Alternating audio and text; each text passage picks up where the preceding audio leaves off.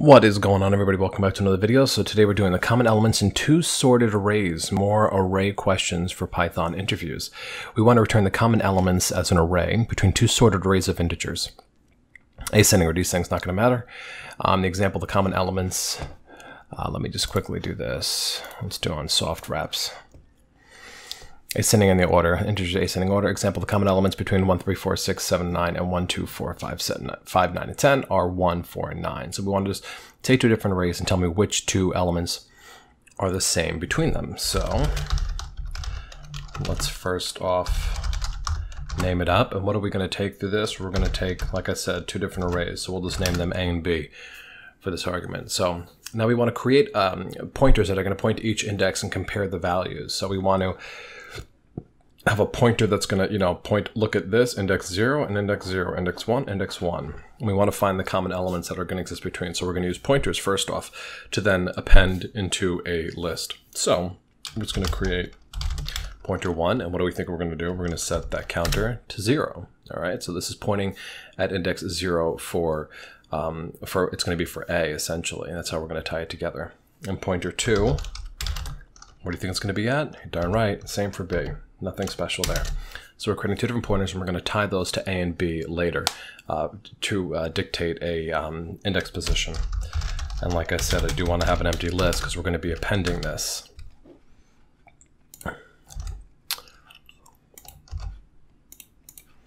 Let's just keep it proper context. So we're going to do a while loop. We want to go um, through the length of the list essentially and check the corresponding index position um, to know if the index value is the same, then we want to add the element to the result. If it's not the same, that's how we're going to get the, the end product.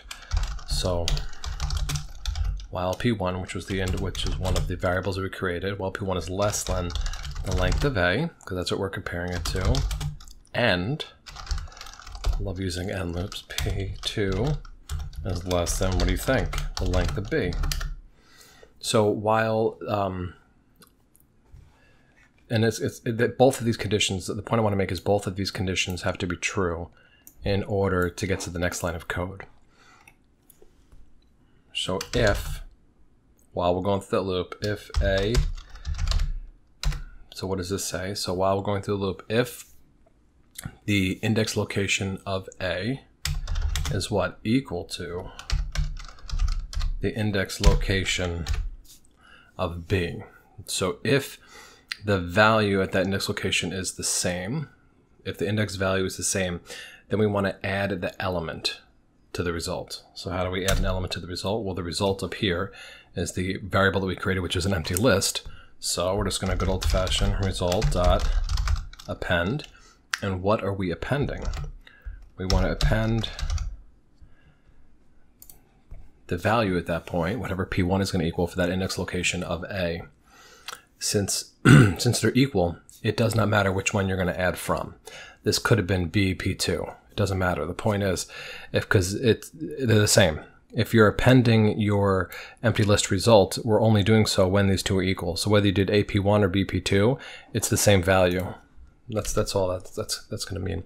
And now, what do we do whenever we um, we want to move to the next index location? We're going to have to simply change our count, right? So now we can actually move through the iteration appropriately. Now we want to do, we have to cover for other, oops, look at that, I forgot a colon. We have to now account for other instances. So what if P1, because we have if they're equal to each other, what if it's greater than, what if it's greater? What if the value is if if the index at A element is larger than the one that's at the B element, we want to move point. We want to move our pointer in B only. So how are we going to move our pointer? Nothing crazy. We're just going to say P2 because again, that was our pointer. We want to move it up by one. We're only moving the pointer in point B since the A element is larger. All right, that's going to cover if that's the case, but we need one more condition, right? We're going to use an else.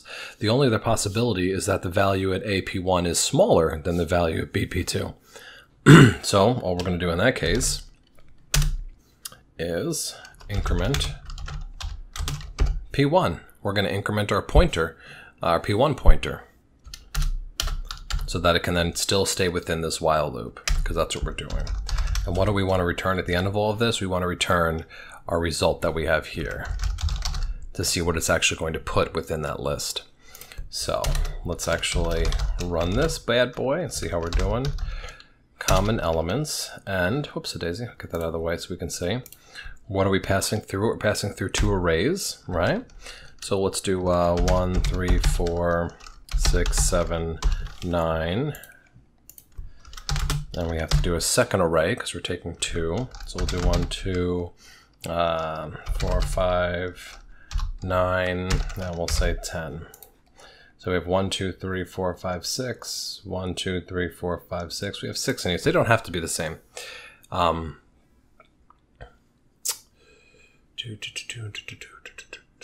all right, so let's run this bad boy. Uh, common elements.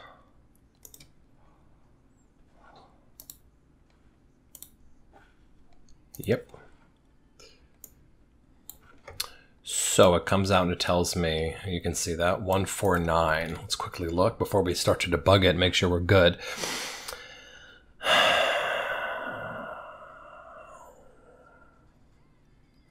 So let's check if the index positions are correct. We're checking common elements. So they both have a 1. That's true. They both do not have a 3. They both have a 4.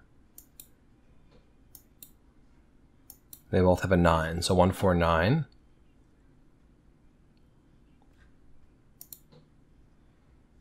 Excellent. So again, but this was the common elements of A to B. So you'll notice it didn't put a 10, where you would think, uh, you know, why didn't? But it's not a common element. So it is checking uh, the B against the A as well. So let's debug this. Let me hop up here. Let's run our debug bring this down just for we have a little more space. So it's going to put into uh, memory our A and B arrays that we have. So this is just our two variables, P1 and P2. It's just going to put those in memory. We have them counter at zero, nothing special there. The result, same thing. Results is a variable, it's an empty list.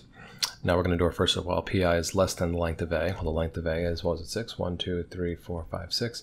It is right now Pi, uh, P1 and P2 are both 0, so it's definitely less than length A. And P2 is also less than length B, so it's going to run through that, that while loop. And it says if AP1 equals BP2, result append A with P1.